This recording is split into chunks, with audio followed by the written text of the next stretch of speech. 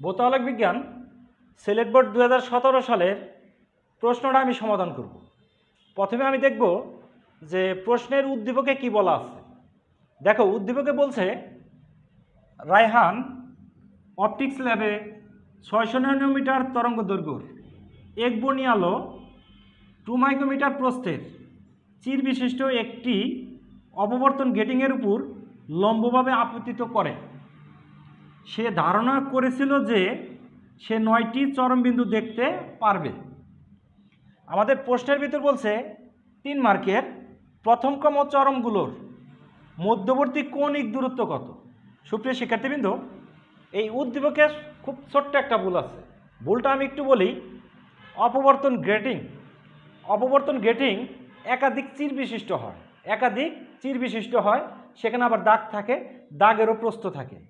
কিন্তু দেখো, আমাকে, আমাদের এখানে একটা চিরের কথা বলছে, চিরের প্রস্থ আছে টু মাইক্রোমিটার তার মানে আমাদের এখানে যেটা বলছে, একক চিরের দরুন যে অপবর্তন, সেটার কথা বলছে। তার মানে এই ক্ষেত্রে তারা গেটিং শব্দটা না দিলেও সবচেয়ে উত্তম হতো।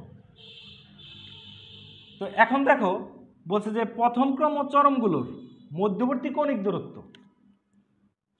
একক চিরের দরুন অপবর্তনের ক্ষেত্রে একটা লেন্স থাকে তার ফোকাস দূরত্বে পর্দা রাখা হয়। এই জায়গায় হয় কেন্দ্রীয় চরম, তারপরে অবম, তারপরে চরম। আবার কেন্দ্রীয় চরমের নিচেও অবম পাওয়া যায়, আবার চরম পাওয়া যায়। এটা হচ্ছিল আমাদের প্রথম চরম, এটা হচ্ছিল আমাদের প্রথম চরম। এই লেন্সের আলোক কেন্দ্র এটা। তাহলে দেখো কৌণিক বিস্তারের সাপেক্ষে প্রথম চরমের কৌণিক বিস্তৃতি বা কৌণিক দূরত্ব হচ্ছে থিটা। এখন এই কেন্দ্রীয় চরমের সাপেক্ষে প্রথম চরমের কৌণিক বিস্তৃতি যদি উপরের দিকে থিটা হয়, তাহলে নিচের দিকেটাও হবে কি আমার? থিটা। তাহলে আমরা যদি এই থিটা বের করতে পারি, তাহলে এই প্রথম চরম, এই প্রথম চরম, তার মধ্যবর্তী কৌণিক ব্যবধান কোনটা বা কৌণিক দূরত্ব এটা। এটা মূলত কি আমার? টু থিটা তার মানে আমি যদি থিটার মান বের করি, তাকে টু দ্বারা গুণ করি, তাহলে প্রথম চরমের কৌণিক বিস্তৃতি বা মধ্যবর্তী কৌণিক দূরত্ব আমি সেটা বের করতে পারব।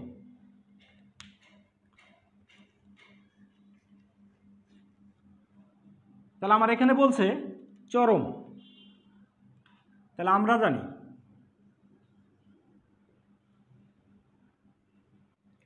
চরমের যে শর্ত, কোন ক্ষেত্রে? একক চিরের দরুন অপবর্তন। লিখলাম আমরা a sine theta n two n plus one lambda by two তাহলে আমার এখানে কী বের করতে হবে? থিটার মান বের করতে হবে। তো আমরা দেখি যে আমাদের কি কি দেওয়া আছে। তরঙ্গ দৈর্ঘ্য দেওয়া আছে ল্যামডা ছয়শো nano metre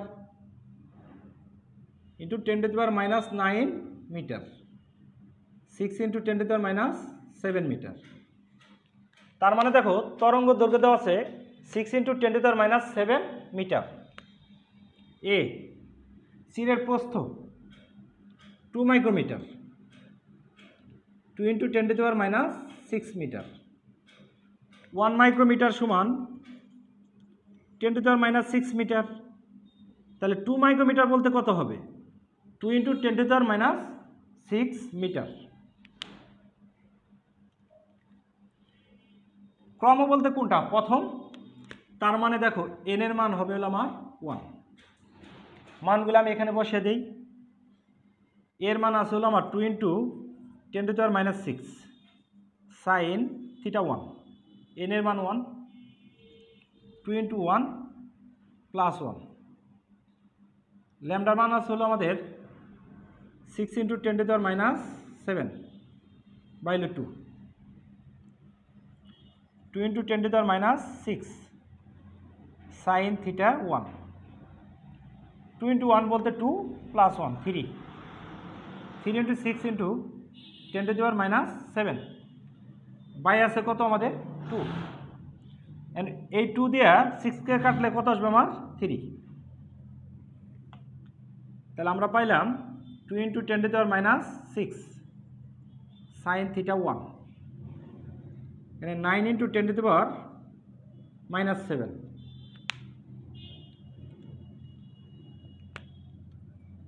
sine theta one nine into ten to দেওয়ার minus seven two into ten to দেওয়ার মাইনাস সিক্স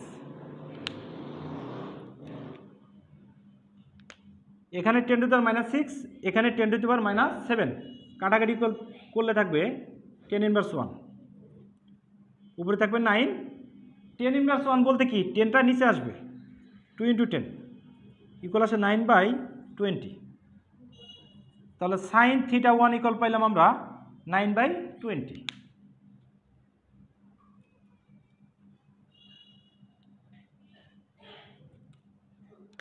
সুতরাং theta one equal sine inverse nine by twenty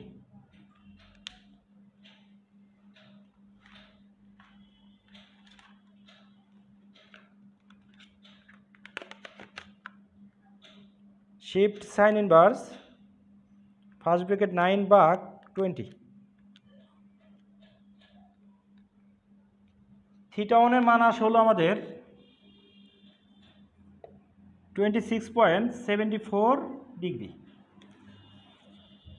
তাহলে প্রথম ক্রম চরমগুলোর মধ্যবর্তী কৌণিক দূরত্ব বা কৌণিক বিস্তার, সেটা কত?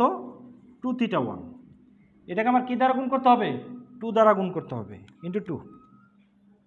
তাহলে আমরা পাইলাম fifty three point forty eight degree. তার মানে প্রথম ক্রম চরমগুলোর মধ্যবর্তী কৌণিক দূরত্ব fifty three point eight degree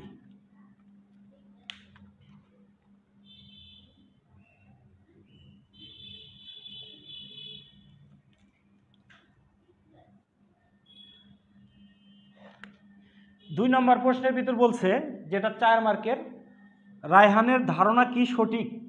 গাণিতিকভাবে ব্যাখ্যা করো। রায়হান কি ধারণা করেছিল? রায়হান ধারণা করেছিল যে সে নয়টি চরমবিন্দু দেখতে পারবে। তাহলে কয়টি চরমবিন্দু? নয়টি। চরমবিন্দুর ক্ষেত্রে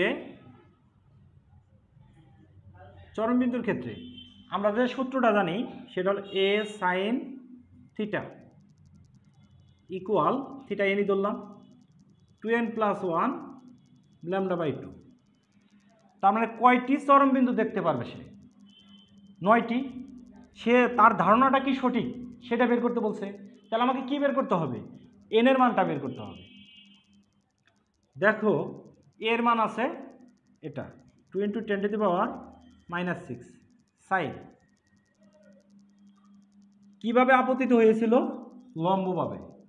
তার মানে এই ক্ষেত্রে থিটার মান নাইনটি তাহলে sine ninety equal two ten plus one lambda six into ten to দেওয়ার minus seven বাইলে two two into ten to দেওয়ার minus six sine ninety degree মান one two n plus one এটা যদি আমি টু দ্বারা কাটাকাটি করি, তাহলে আসবে হলো থ্রি ইন্টু টেন টু দেওয়ার মাইনাস সেভেন দেখো, এই পাশে আছে টেন টু দেওয়ার মাইনাস সিক্স এই পাশে আছে টেন টু দেওয়ার মাইনাস সেভেন যদি আমরা বাদ দেই, তাহলে এখানে থাকবে টেন ইনভার্স ওয়ান তাহলে আমরা লিখতে পারি two equal two n plus one three by ten এটা আমরা লিখতে পারি। টেনটাকে আমরা এই পাশে আনি টোয়েন্টি থ্রিটাকে এই পাশে আনি by three equal two n plus one